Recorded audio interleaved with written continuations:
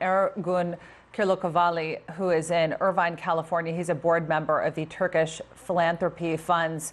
Uh, really great to have you on the program with us. Want to get your reaction as our North America correspondent John Brain just referenced there. It doesn't seem like there were a lot of tangible results out of this meeting. Certainly, a lot of the differences and the uh, sort of disagreements that the two countries have been grappling with were brought to the table. Uh, perspectives were explained. But I, I guess, what is your reaction to sort of what the Turkish president has been able to achieve with this visit to the White House? I think a lot. Well, first things first, in conflict resolution, rule number one is dialogue. That was established because up to now, what we heard and what we saw in the big media and the US Congress was basically bullying and bad mouthing. They don't even know their facts. For example, they would call uh, the, the, the, whole issue as Turks fighting Kurds. There is no such thing. Turks are not fighting Kurds. Turks are fighting a terrorist organization. They even fail to make a difference between the Kurds at large and a terrorist organization. That's how primitive their approach was.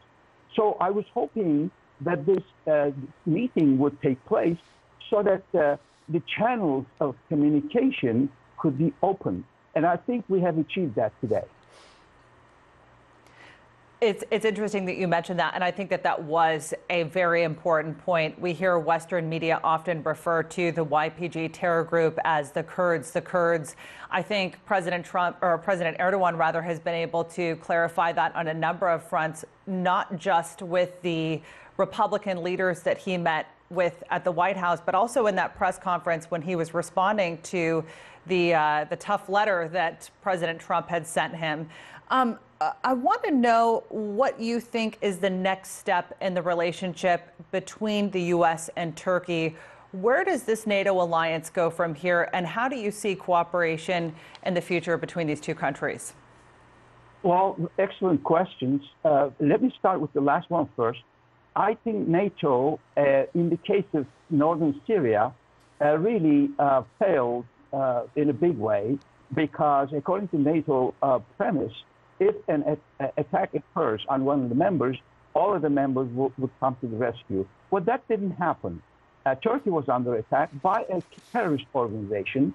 In fact, there were more than 800 attacks involving mortar lobs, mortars lobbed, uh, missiles fired, uh, causing 20 deaths and more than several hundred wounded, uh, and billions of dollars of, of property damage. And yet, none of them took place you couldn't see anything about these things in the big media in the West.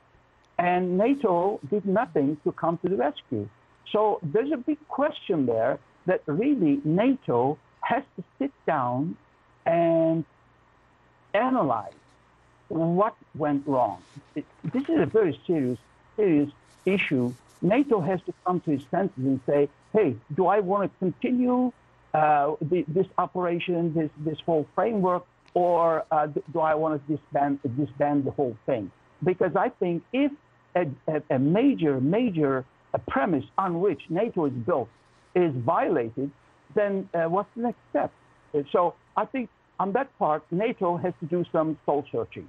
Now, on the uh, uh, on the um, uh, uh Turkish side, we have to realize that Turkey has been bearing the brunt of uh, the refugee crisis. There are more than 4 million Syrian refugees. Now, to, to put that into perspective for uh, the Uni- United States viewers, Turkey is a bit larger than Texas and Arizona. And uh, it, it, it, Turkey's population is 80 million. Now, if you do the math, uh, this would be equivalent to having about uh, 10, 12, 13 million refugees in Texas and Arizona alone. Think about that.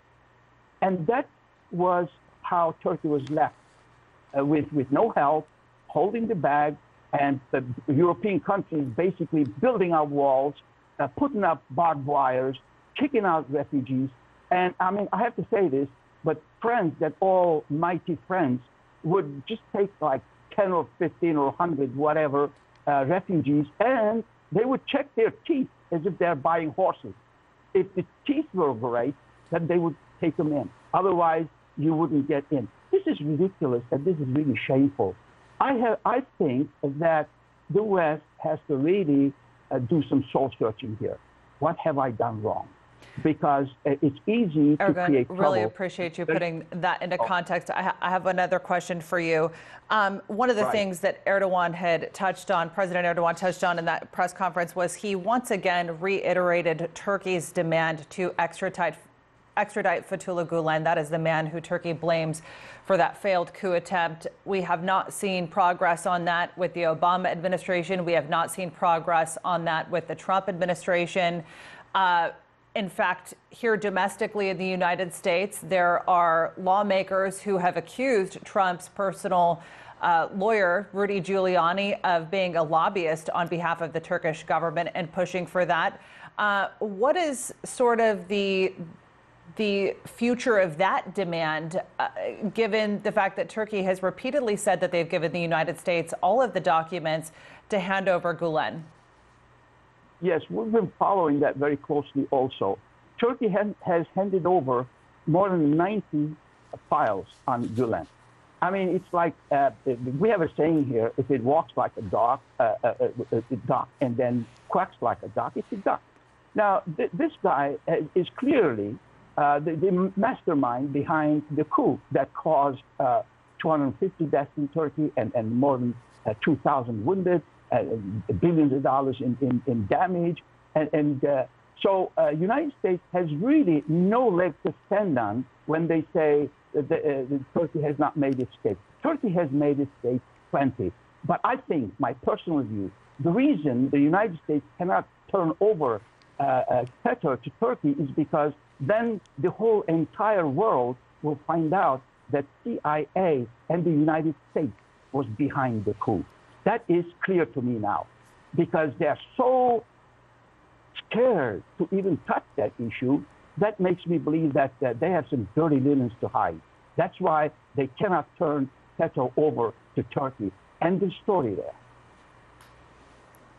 All right, Ergun Kirlikovali uh, coming to us from Irvine, California, who is a member of the Turkish Philanthropy Funds. We really appreciate your analysis and being with My us pleasure. on the program.